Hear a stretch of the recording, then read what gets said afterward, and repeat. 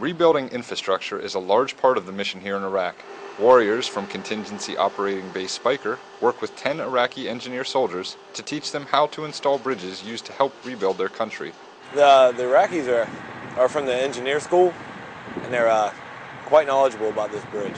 We're actually kind of doing like train the trainer thing right now. They're going to go back to the schoolhouse in Baghdad and train their men how to build this bridge. Having soldiers that are bridge specialists ensures the Iraqis receive the best training possible. Specialist Calvin Barber tells us some of the steps taken to install a bridge like this. First, the crane picks up one of the boxes and he pulls it over and we attach the panel pins.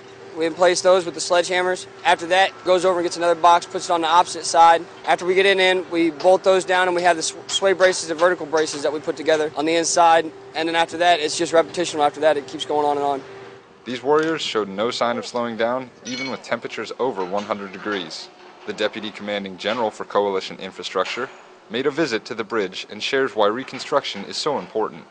Everything about reconstruction is important at this point in time as we transition from security to economic development. And uh, issues such as this bridge just reinforce that whole issue of economic development. In fact, it allows it to happen.